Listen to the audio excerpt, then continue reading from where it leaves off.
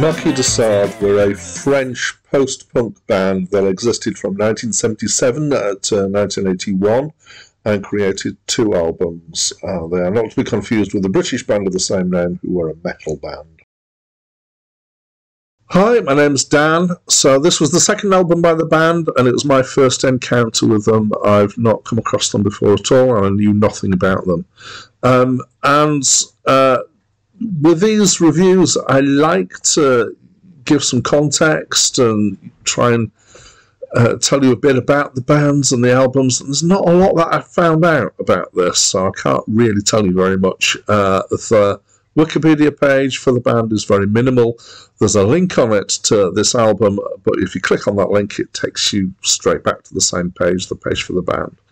Um, so uh, we're left with uh, my description my, and my opinion, then, really.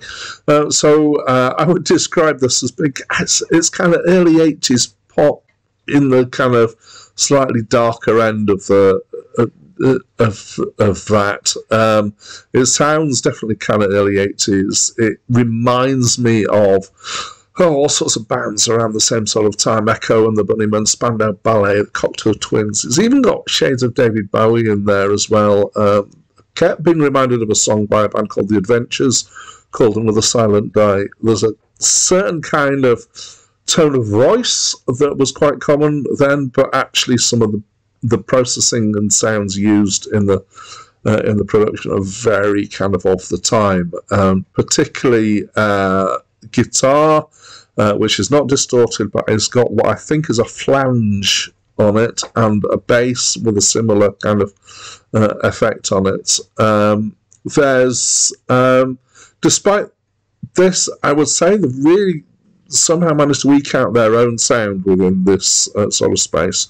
Uh, they're obviously not English. Uh, they occasionally sing in French. Uh, they do at times sound to me more uh, more German, and I'm not sure I can really put my finger on that. I think it's it, it's the kind of the way they approach the the singing that sounds a bit more, um, uh, possibly you know more of a as if they come from a Germanic background rather than a Latin language background. Um, there's some good musicianship in here. I particularly like some of the work with the sax uh, saxophone in here. Um, and uh, the, the the songs are fairly interesting. There's certainly a darkness to the the lyrics. Um, there's a kind of feeling that they're not quite, you know, sort of central and um, and sane. there's a little bit of an unhinged feeling to the whole thing, um, in a way that works, I think. Um, uh, so there's uh, the first track is called Back to Cruelty. Uh, there's a track in the middle which is called um, Cancer and Drugs, which has got the line Dance to the Rhythm of My Cancer. I'm not really sure what they're trying to get out there. Um, it's it's kind of it's kind of weirdly kitsch, but it's a bit of a grower. I enjoyed it more the second time through than the first time through. Uh, the last track is uh, a fairly nice instrumental, I would say.